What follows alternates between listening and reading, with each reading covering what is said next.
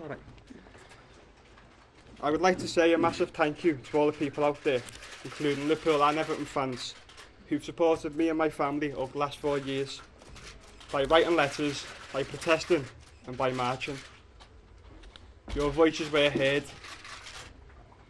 Thanks to you, I knew I'd never walk alone. Thank you.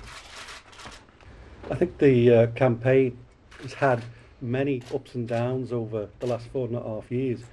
and I'd be um, telling lies if I didn't say at some time during that campaign we, we faced some bleak times. As I've said and many other people, Michael has suffered what I believe to be uh, the most serious miscarriage of justice in modern times.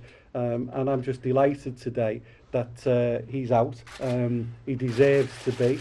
I led the campaign for four and a half years to prove that Michael Shields was innocent and not that somebody else was guilty. And that's what we've done. And I'm glad today that Jack Straw has reached the decision that Michael is morally and technically innocent. Exactly what we've been saying for four and a half years.